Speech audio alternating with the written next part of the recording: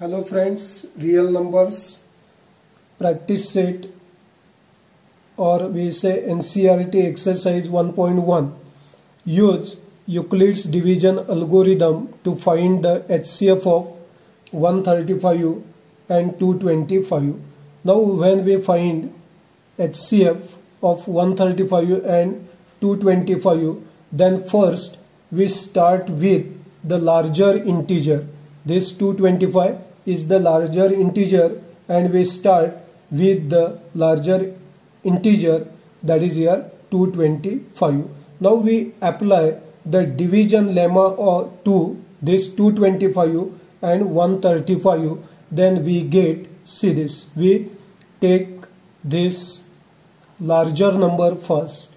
And means this is dividend and this is divisor 135 now 135 into 1 means 135 and means this is we say quotient. When we divide to 225 by 135 then our quotient is 1 and the remainder that is 9. Now in this means this 225 is not completely divisible by 135 and here remainder is 90 now here this number now for second step this 135 is our dividend. Means we write here. And this 90 is our divisor.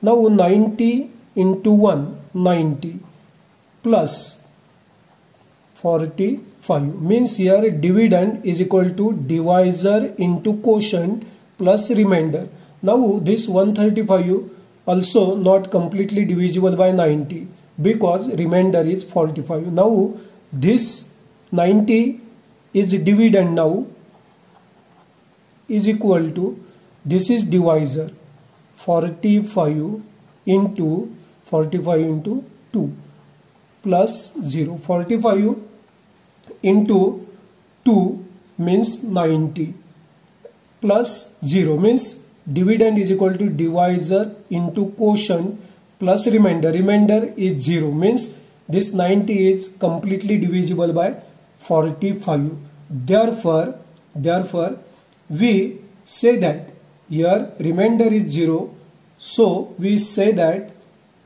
45 45 means this number 45 is the HCF of 225 and 135 therefore we say that since the divisor at this stage is 45 the HCF of 225 and 135 is 45 therefore HCF is equal to 45 this is our final answer. Friends if you want to join my online classes, contact me as well as like, share, subscribe my channel and press notification button too.